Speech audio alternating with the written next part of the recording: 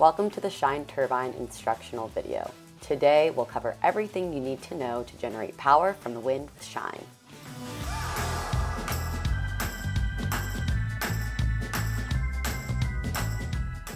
In this video, you'll find the following sections. Overview, pre-charging, operating conditions, setup, charging, and takedown.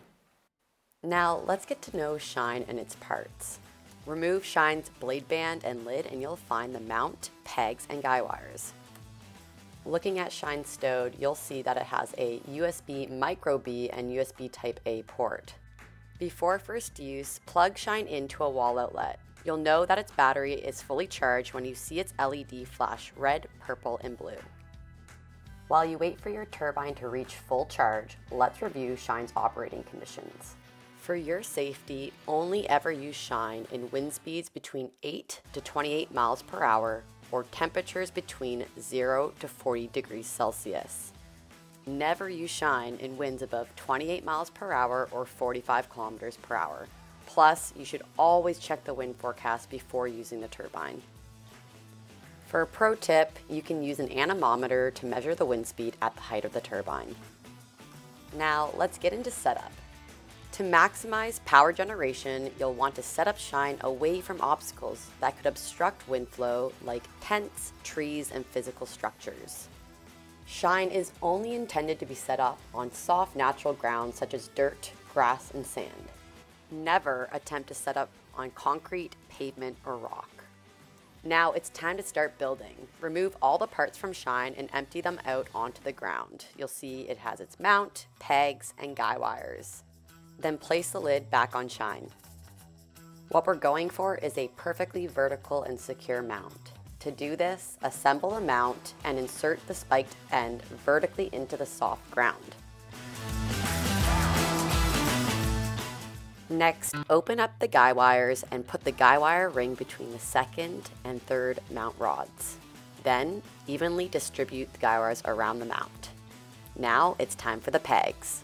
Open the bottom loop of each guy wire tensioner and hook a peg through the guy wire loop. Next, stake each peg into the ground at a 45 degree angle. Pro tip, use the bottom of your shoe to push the pegs deeper and more securely into the ground. Next, increase the tension of all three guy wires until the mount is perfectly vertical and secure. This may take some time and you'll want to circle around your setup making adjustments as required. Once the mountain wires are perfectly vertical and secure, it's time to grab your turbine and open its blades. Attach the lid tool to Shine's blade hinge. Then follow the unlock symbol by turning it counterclockwise until you feel some tension and it come to a stop. At this point, you know that the blade is ready to be opened. Once you open the blade, proceed to lock it by following the lock symbol. Now, repeat this step for all three blades. Double check that they're all locked at 90 degrees, and then you can proceed to put the lid back on the turbine. We're ready to make some wind energy.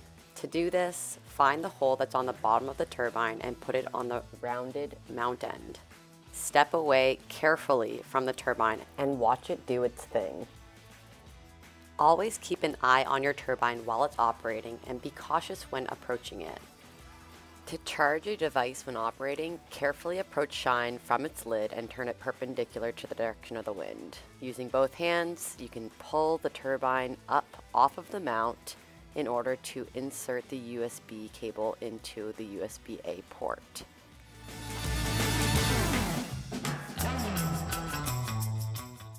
While holding the turbine, you can then loop the other end of the cable through the guy wire hook. Note, do not let the USB cable interfere with rotating blades. Make sure there is enough slack on the cable to allow the turbine to rotate freely, just like this. Next, all you have to do is plug in your device. Pro tip, you can also charge your devices when Shine is stowed. Here's how to take down Shine.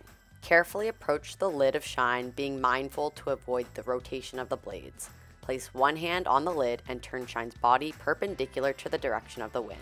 With two hands on the front and back of Shine, carefully remove it from the mount. Then you can proceed to close the blades for stowage.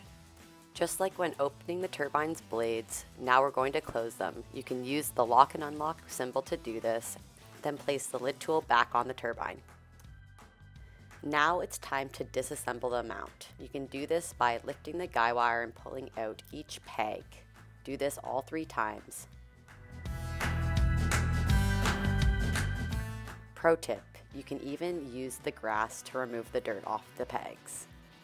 Next, remove the guy wire from the second and third rod, then take out the mount from the ground. Again, use the grass to remove any dirt and debris from the mount. Disassemble the mount by folding all six sections side by side. Then neatly insert the parts back into shine starting with the guy wires, then the pegs, and the mount. It may take you a couple tries to get it right, but once you figure it out, you'll be a pro in no time. Once everything's back in shine, you can then put the lid back on the turbine and then place the blade band back on. And just like that, it's all stowed and ready to go. When storing the turbine, make sure you choose a climate controlled environment between 10 degrees to 26 degrees Celsius or 50 to 80 degrees Fahrenheit.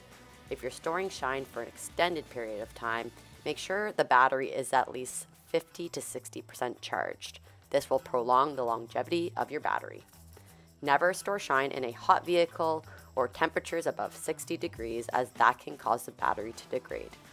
Now that's a wrap. Time to get out and enjoy the world of wind power. Thanks for watching.